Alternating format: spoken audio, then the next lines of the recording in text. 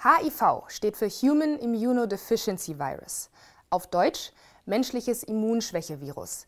Diese Viren sind kleine Krankheitserreger, die bestimmte Zellen im Körper befallen, sich in ihnen vermehren und unser Immunsystem schwächen. Unser Immunsystem brauchen wir zur Abwehr von Krankheiten. AIDS steht für Acquired Immune Deficiency Syndrome, auf Deutsch erworbenes Immunschwächesyndrom.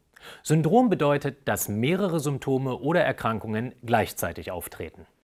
Bei AIDS hat man schwere, zum Teil lebensbedrohliche Erkrankungen, zum Beispiel eine besonders schwere Form der Lungenentzündung oder bestimmte Tumore.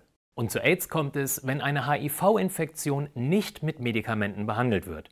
Mit HIV-Medikamenten kann man AIDS verhindern oder wieder rückgängig machen. Es gibt also einen Unterschied zwischen HIV und AIDS.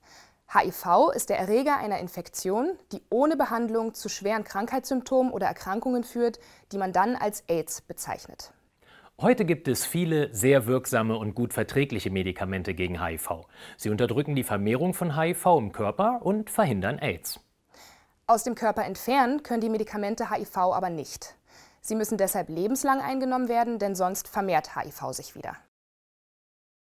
Wenn man eine HIV-Infektion früh mit einem HIV-Test feststellt, bald mit einer medikamentösen Behandlung beginnt und die HIV-Medikamente regelmäßig einnimmt, hat man gute Chancen auf ein langes und relativ beschwerdefreies Leben. Außerdem kann HIV dann selbst beim Sex ohne Kondom nicht übertragen werden. Und Menschen mit HIV können ohne Angst vor einer HIV-Übertragung Eltern werden und gesunde Kinder bekommen. HIV ist also heute eine gut behandelbare chronische Krankheit, mit der viele relativ beschwerdefrei leben.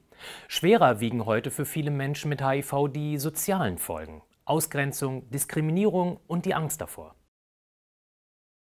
Zusammengefasst. HIV ist ein Virus, welches das Immunsystem schwächt.